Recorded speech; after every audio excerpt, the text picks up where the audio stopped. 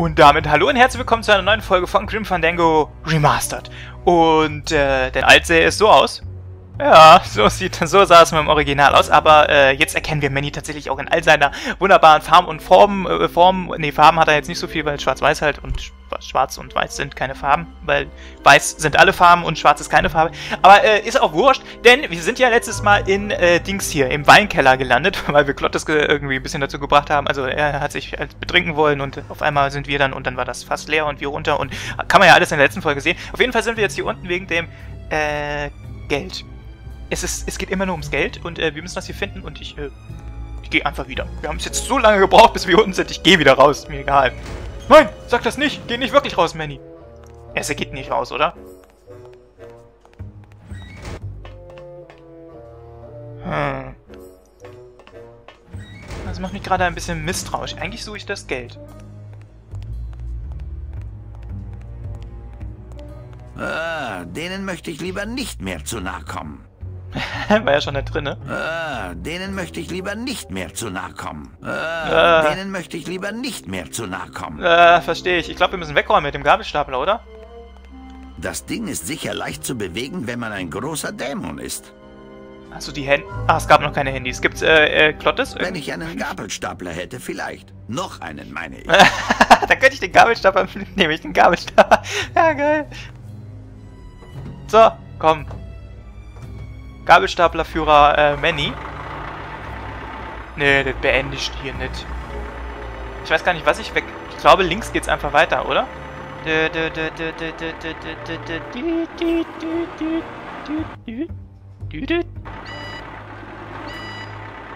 Ja, geil, es gibt auch das Rückwärtsgeräusch. Äh, ich weiß aber... Ich hab das... Keine Ahnung. Komm, wir fahren einfach damit jetzt im Fahrstuhl. Wir machen jetzt, wir machen jetzt hier äh, in der Highest Row Lounge machen wir jetzt richtig Rami Demi.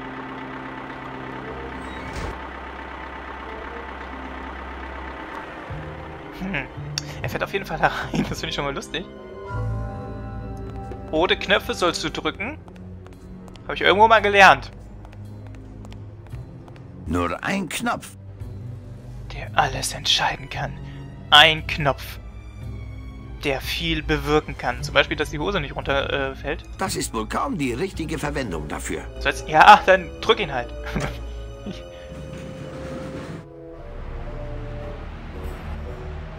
eine Fahrstuhlfahrt, die ist lustig. Eine Fahrstuhlfahrt, die macht Spaß. Bitte aussteigen. Bitte wenden. Komm schon, irgendwo wo fahren wir hin? Nee, da nicht hin.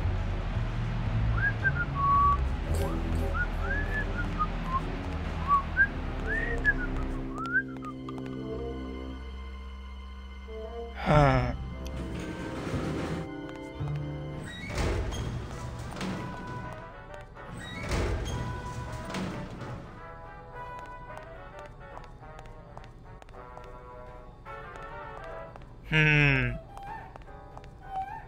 Da steht schon ein neues Wein fast. Hm. Hm. Bus, Bus, Bus, Bus, Bus. Klottes? Lauf! Du, äh, wie... Gut so, Kätzchen, so mag Papi das. Aber wo Papi, äh... Los, Kätzchen! Klottes? Fang die Maus! Können wir bald gehen? Was hast du gesagt, Kitty, Kitty Cat? Du sollst nicht reden, du, du sollst, sollst laufen. Los, Kätzchen! Okay, Klottes möchte mir nicht helfen. Ich wollte es nur mal testen, ich muss das eh, ich muss das glaube ich alleine machen. Der, der Kellner ist zum Glück nicht da, oder? Der Kellner ist nicht da, oder? Gut so, Kätzchen, so mag Schnell gucken, ob der Kellner da ist. nee, der ist nicht da. Dann haben wir in Ruhe Zeit und können jetzt hier ein bisschen äh, Remi Demi machen. So, auch der Typ mit dem Wein ist nicht da. Toll. Dafür musste ich so ein Theater machen, dass der Typ hier die ganze Zeit stand und jetzt ist er einfach abgehauen. Äh, Manny, einfach reingehen. Einfach reingehen. Es ist nicht schwer, einen Fuß vor den anderen zu setzen. Das mache ich lieber jetzt mit der Tastatur, weil das hat jetzt mit der Maus nicht ganz funktioniert. Äh, ich habe aber was... Ich habe eine Idee. Ich weiß noch nicht, ob die Idee stimmt. Weil ich kann mich hier bewegen, wenn der Fahrstuhl fährt.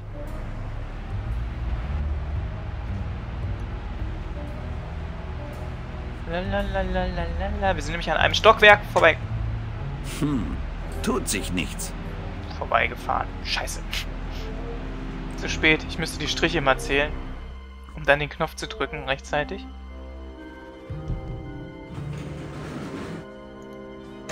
Nee, ich will wieder nach oben. Ich, will, ich glaube, wir müssen in das andere Stockwerk. Ah, ich habe noch einen anderen... Pla ah, ja. Okay. Äh, wir müssen... Ich weiß nicht, ob das jetzt klappt, aber ich drück mal den Schalter. Hm, tut sich nichts. Ja, ich habe einen Plan. Ich habe einen Plan, ich habe einen Plan. Ja, richtig. Genau. Und was sehen wir da unten? Na, zwei Lücken. Zwei Lücken musst du füllen. Äh, warte, machen wir das nochmal runter. So, und jetzt benutzen wir das Ding zum Fahren. Ja, ja, ja, die Tür, Fahrstuhltüren öffnen sich nicht. Oh, warte! Oh, warte! Ich konnte den Gabelstapler mir angucken. Oh, warte, nein, da müssen wir erst runter, Manny. Das tut mir leid. Wir müssen erst wissen, was die jetzt... Oh, die erzählen es uns jetzt. This is our first 3D game, and it's funny to see how many puzzles are about the physical properties of things, as opposed mm -hmm. to... Right. In a 2D adventure game, you would never make something based on the shape of something or right. leverage. Like, that whole puzzle was very physical. Like, you had to move these two objects and stop them from sliding past each other, and the forklift jacked up on its back wheels, and I think we were just so excited to be in a world of physical stuff. Or maybe because we were in a world of physical stuff, we had to actually make it physically realistic. Durch diese Tür komme ich nicht durch. Ich auch nicht. Nö, Manny. Nicht hier. Oh, na gut. Dann machen wir das eben unten.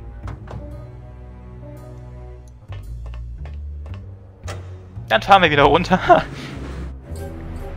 Wenn man sonst nichts im Leben hat, dann fährt man Fahrstuhl.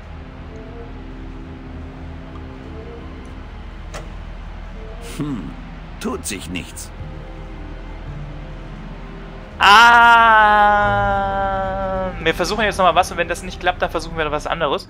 ich habe schon zwei Pläne. Plan 1 sieht folgendes vor. Wenn es nicht hier ist, vielleicht hier. Ich will das Gitter, also das Gitter müssen wir hochhalten. Geht ja nicht, dass das Gitter nicht... Nein, ich will nicht raus. Auch Manny. Dann geht das nicht. Okay. Nein. Wie einfach jetzt umdreht, weißt du. Ich muss das Scheißding eh umdrehen.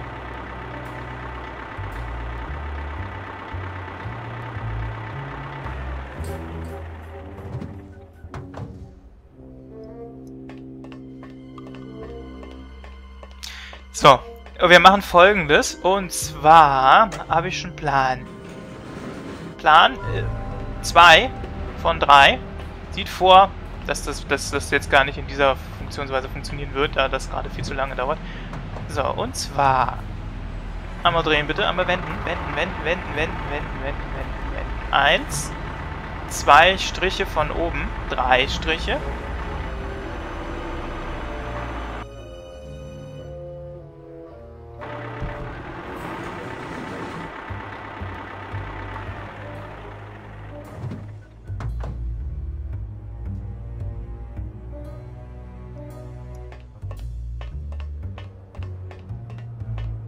Ja, ist das jetzt echt auf der anderen Seite? Was macht der? Ah, da ist der Hebel auf der anderen Seite. Hm. Wir kriegen das hin, kein Ding.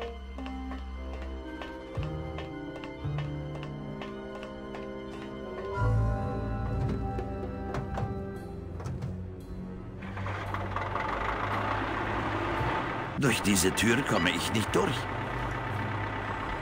Nicht hier. Ja, er will das echt nicht. Nein, Manny, was tust du? Ne, er will das nicht hier machen. Versuchen wir was anderes. Dann machen wir das eben anders. Moment, das dauert... Warte, wir rennen mal rüber. Ich bin mir noch nicht genau sicher, in welcher Reihenfolge es funktioniert. Wir müssen es einfach so schaffen, dass das Gitter offen bleibt und wir durch den Geheimgang da kommen, wo der Fahrstuhl nicht anhält. Das ist alles.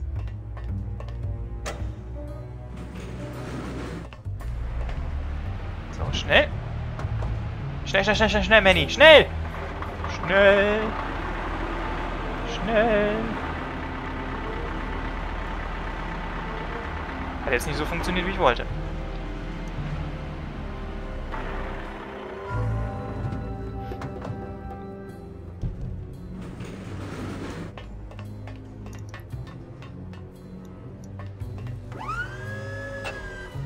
So, wir kriegen das schon hin, das ist kein Ding. Wir müssen halt nur immer auf die andere Seite. Das ist voll gut funktionsfähig gemacht. Für Manny.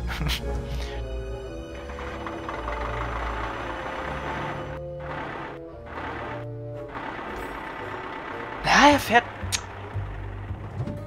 Warte mal, ich weiß nicht, ob wir das hinkriegen so schnell. Wahrscheinlich nicht, oder?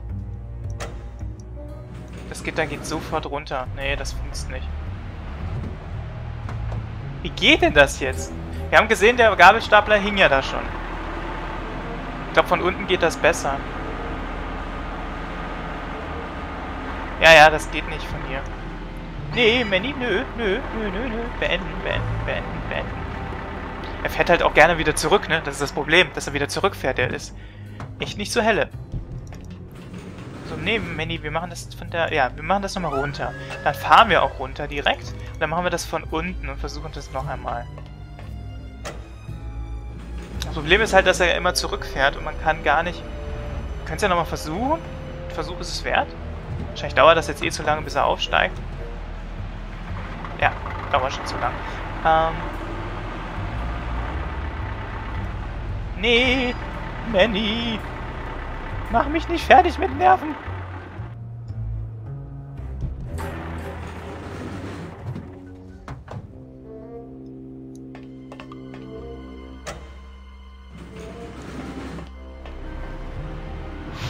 Okay, wir schaffen das schon. Wir schaffen das. Es ist kein Ding. Es ist, äh, wir müssen das nur Timing. Timing ist alles. Timing ist alles. Timing ist alles. Timing. Timing, Timing, Timing. Ja, so rum geht's doch schon viel besser. Beenden. So, ich habe ich hab die falsche Reihenfolge gehabt. Die ganze Zeit. So, und jetzt, jetzt können wir erst den Hebel benutzen. Dann machen wir das Tor hoch. Und ziehen uns gleichzeitig nach unten und können jetzt hier in dieses versteckte Ding reinlaufen. Ich weiß nicht, was Manny vorhat, weil ich habe ihm gesagt, er sollte eigentlich hinlaufen. Er ist da durchgelaufen. No, and I think this is one of my first sets. Oh, uh, yeah, I remember this is both of those were um, well, it was one of the first ones that I ever modeled. And again, it was very simple. Very simple geometry. Stimmt, es ist einfach nur ein Gang. Aber schöner Gang. Ein schöner Gang. Ein wirklich toller Gang geworden. Äh, ich glaube, wir gehen wir einfach durch.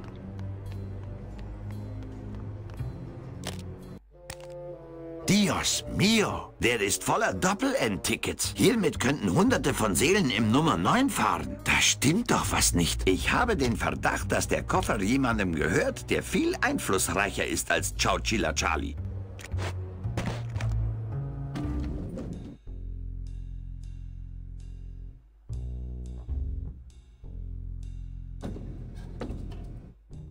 In Ordnung, Manny. Gib mir den Koffer. Charles, ich dachte, wir hätten eine Vereinbarung. Haben wir. Aber ich dachte, ich bringe eine kleine Versicherung mit. Für alle Fälle. Was ist los, Chuck? Kannst du dir keine Handlanger für diese Art von Job leisten? Ich kann mir leisten, was ich will. Also leg ihn hin. Zu Befehl, Boss. Hast du einen Ausweis für mich? Hier, willkommen in der Gewerkschaft. Jeden Dienstag im Monat ist Versammlung und vergiss nicht, deinen Beitrag zu zahlen.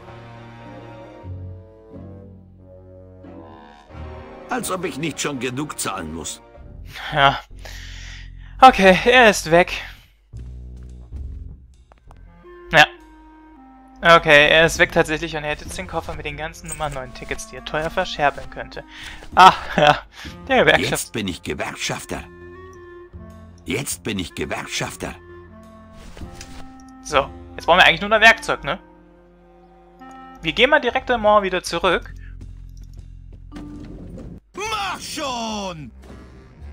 Können wir jetzt eigentlich in das Büro... Los, Kätzchen! Können wir jetzt eigentlich in das Büro von, von Max? Ich glaube nicht, dass es klug ist, in Max Büro reinzuplatzen, solange er mit Nick spricht. Okay, das funktioniert noch nicht. Klottes ist sowieso, glaube ich, relativ du abwesend. Ich frage mich, wie wir den loskriegen und auf das Schiff.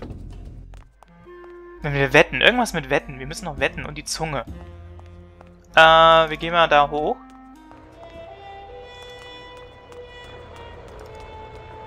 Äh, ich überlege gerade, was wir jetzt als nächstes machen. Zeigen wir den Gewerkschaftsausweis erstmal dem Captain, dass der weiß, dass wir bei der Gewerkschaft sind? Oder können wir vielleicht nochmal kurz die Bienen besuchen und zeigen ihr den Gewerkschaftsausweis oder irgendwie sowas? Ich habe keine Ahnung, wir müssen die Biene noch rauskriegen. Aber dafür brauchen wir eigentlich einen Anwalt, wir brauchen eigentlich Nick. Aber Nick hatte eh Lola umgebracht. Ich. Äh, voll dieses Interessenkonfliktsdings da bums. Wir brauchen Werkzeug. Das Einzige, was wir brauchen, ist Werkzeug jetzt. Ich glaube, das ist unser nächstes Ziel. Werkzeug und dann können wir hier endlich verschwinden, oder? Und irgendwie vielleicht noch Nick rächen. Na, Held, wie geht's dir? Manny, du musst mich hier rausholen. Ich bin ein Opfer der Gesellschaft. Ich arbeite dran.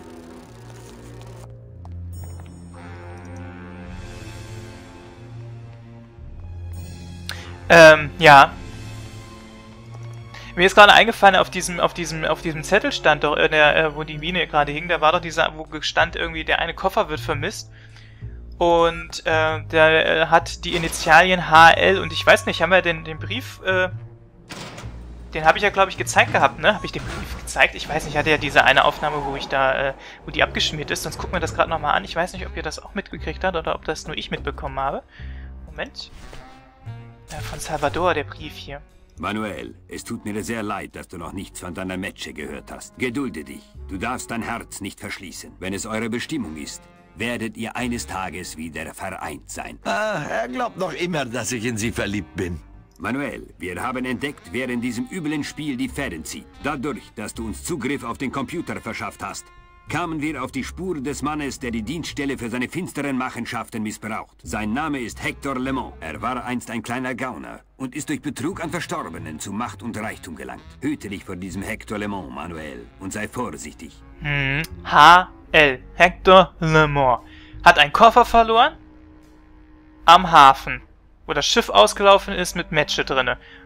Und wir haben einen Koffer gefunden. Zwar haben wir die Initialien auf dem Koffer nicht gesehen, aber es gibt nur einen Koffer in dem ganzen Spiel und äh, da sind Nummer 9 Tickets drin. Genau solche Nummer 9 Tickets, wie sie auf unserer Dienststelle, wo Hector Memoir anscheinend was mit zu tun hat, verschwunden ist. Also es hängt alles zusammen, miteinander verknüpft.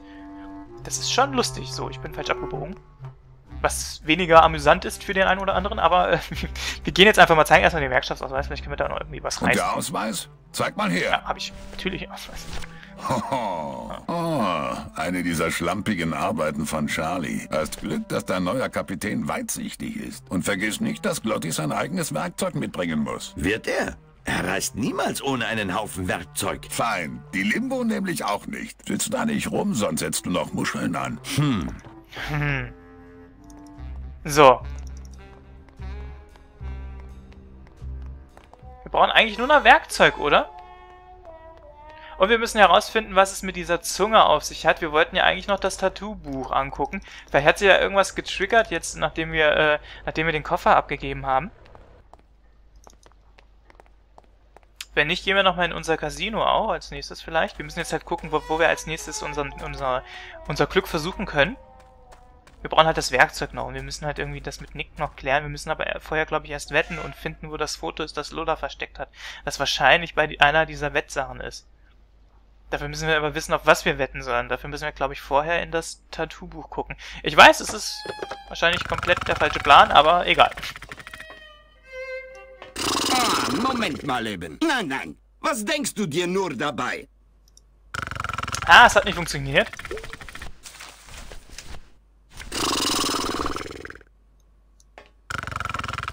Werde den Ausweis ausschließlich dazu benutzen, um aufs Schiff zu kommen. Okay, dann würde ich sagen, beende ich jetzt hier die Folge und ich, wir überlegen uns das nächste Mal, was wir dann als nächstes auch tun. Und äh, ich bedanke mich fürs Zusehen. Wir sehen uns dann das nächste Mal wieder bei Grim Fandango. Macht's gut, Leute. Bis daheim. Tschüss.